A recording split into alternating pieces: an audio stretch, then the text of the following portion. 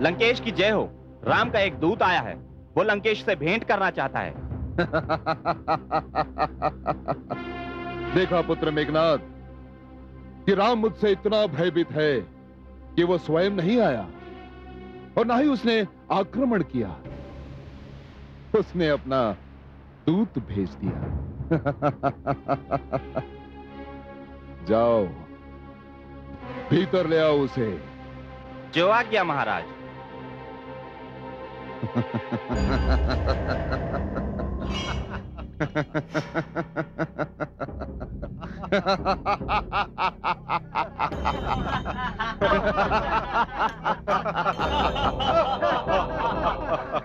जय श्री राम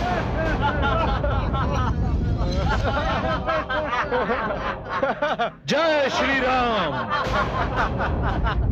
जय श्री राम जय श्री राम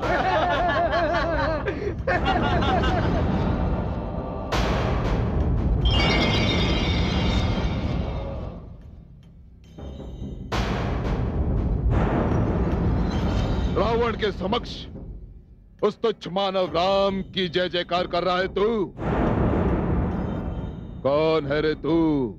मैं बाली पुत्र युवराज अंगद हूँ।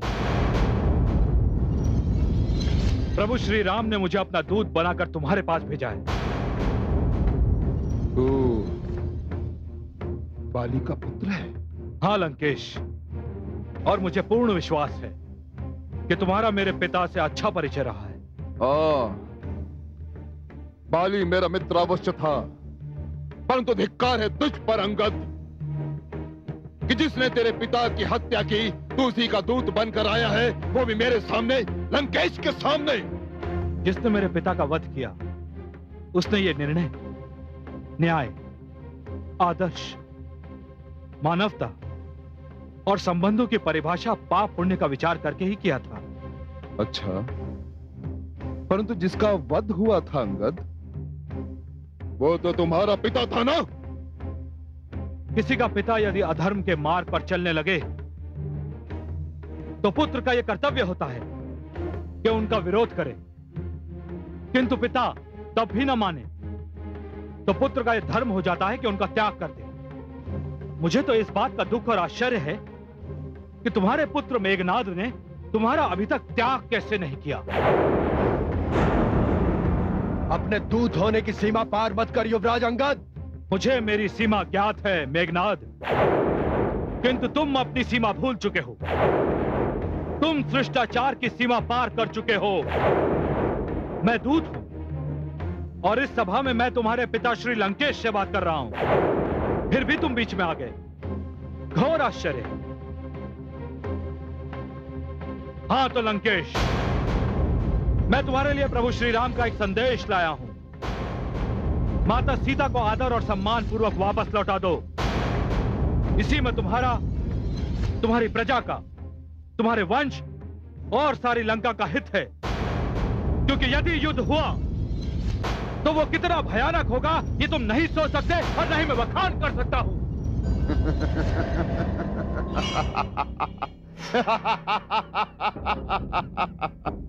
राम। राम एक साधारण मानव है, अंगद। अति साधारण। ना तो उसमें साहस है, ना ही शक्ति और ना ही बल। कुछ नहीं है उसमें। लंकेश, तुम प्रभु श्री राम की शक्ति की बात छोड़ो। उनके समक्ष तो मैं मात्र तिनके के समान हूँ। तुम मेरी शक्ति परीक्षा ले लो। तुम्हें अनुमान हो जाएगा। लो, मैं अपना एक पैर धरती पर रखता हूँ।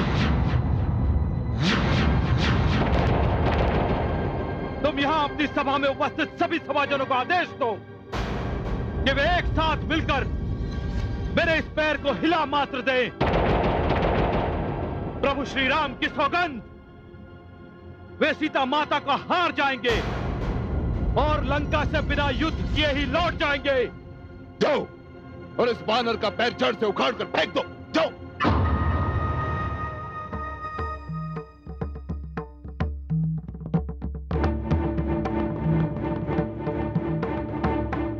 तुम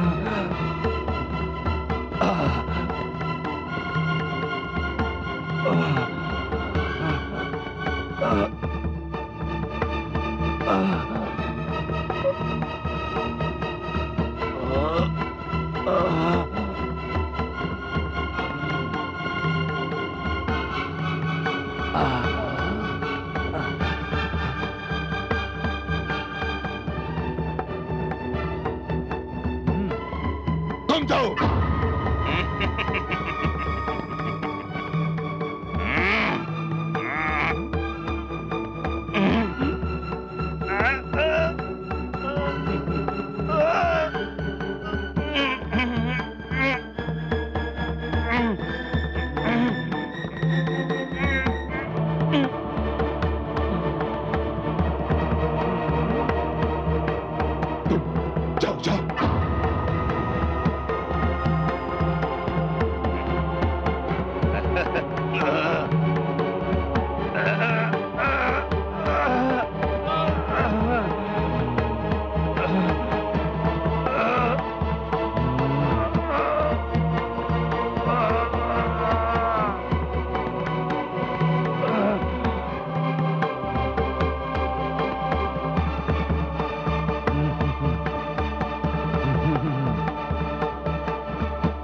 सब जाओ जाओ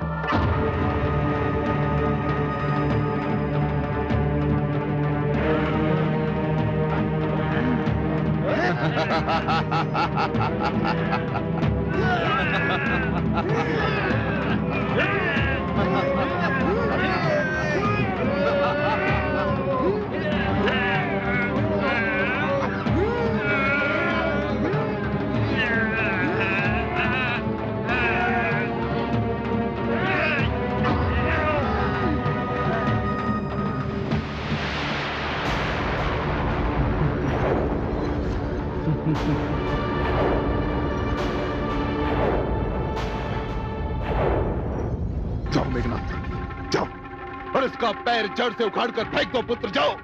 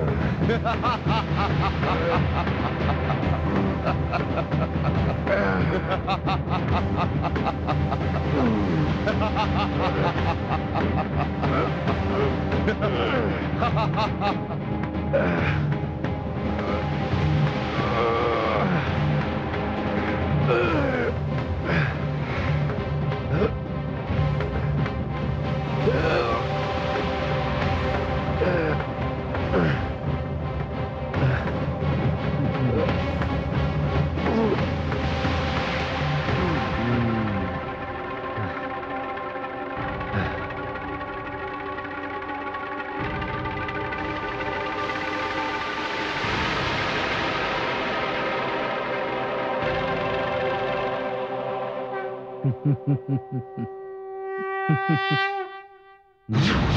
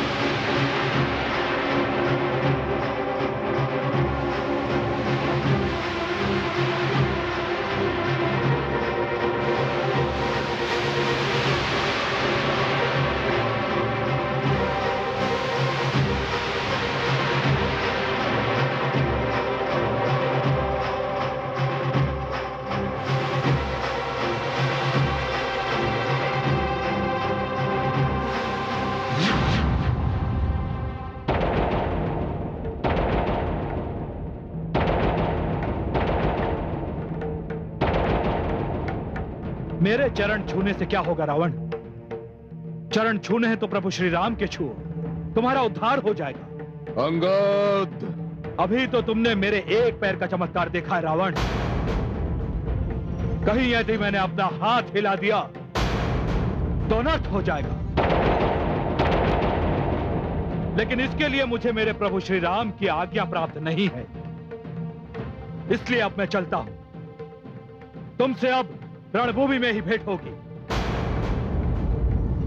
रघुकुल शिरोमणि श्री प्रभु रामचंद्र की जय। जय श्री राम जय श्री राम जय श्री राम युद्ध। युद्ध की तैयारियाँ की जाए। युद्ध किया जाए।